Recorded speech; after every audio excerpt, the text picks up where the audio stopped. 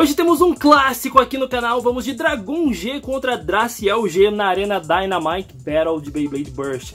Esses aqui são os clássicos de Beyblade de Revolution e eu tô curioso para ver como eles vão se sair. Se você curte Beyblade clássico e quer ver mais vídeos nesse formato aqui no canal, deixa aí um gostei, se inscreve no canal para receber todos os dias os vídeos que publico às 10 da manhã e vamos pra batalha até 5 pontos, no final eu faço uma breve análise desses dois Beyblades aqui. Lembrando que infelizmente o meu dragão tá com a Engine Gear quebrada, então ele não vai conseguir conseguir ativar, mas eu vou tentar ativar o da Dracial. Vamos ver o que acontece. Uou! Começa com uma linda investida em cima da Draciel, que ativa sua Engine Gear e vai pra cima do Dragão também, defendendo muito.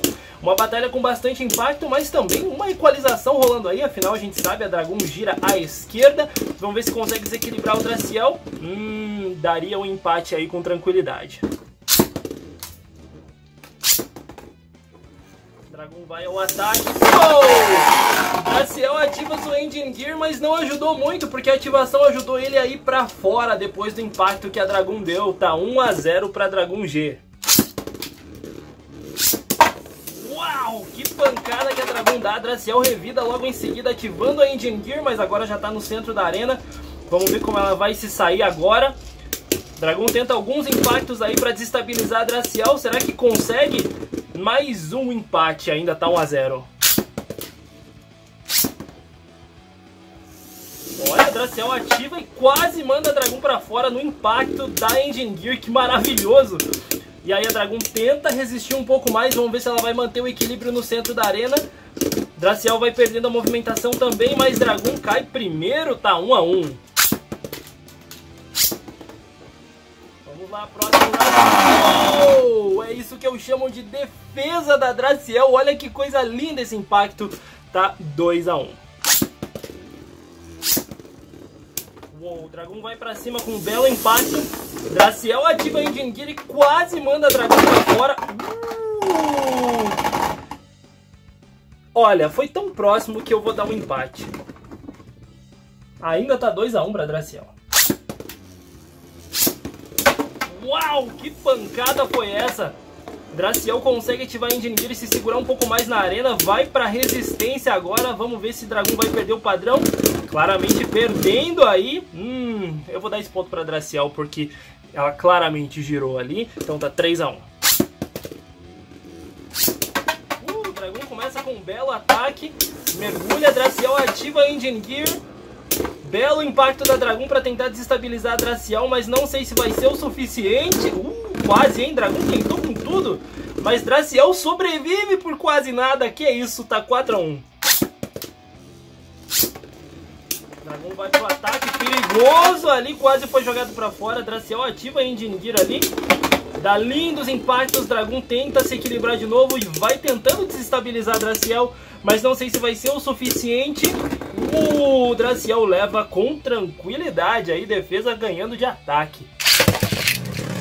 Certamente essa foi uma batalha muito legal de ver, cara. Além de ser um clássico, dá pra ver que os impactos em Bakuten Shoot Beyblade eram muito poderosos. E eu garanto pra você que se a minha Dragon G tivesse a Engine Gear ativada e funcional, a batalha seria completamente diferente, porque a Dragon é muito veloz e bate forte no começo da batalha. Eu adoraria ter uma nova para testar isso, mas infelizmente é o que eu tenho, né? Mesmo assim, vamos começar falando da Dragon G um pouquinho. Ela tem um padrão de movimento interessante graças à sua ponta, que é uma ponta plana. Embora ela não funcione exatamente como deveria na sua Engine Gear, que está quebrada, ela dá ataques interessantes mesmo assim. A Dragon G, embora seja muito bonita, ela ainda tem um pequeno problema que foi aumentar os pontos de impacto de 4 para 8. Então nós temos pontos de impacto aqui bem sequenciais, né, um depois do outro, lembrando que a Dragon gira nesse sentido aqui à esquerda, então ela dá impactos fortes, mas o intervalo entre um ponto de impacto e outro é muito menor.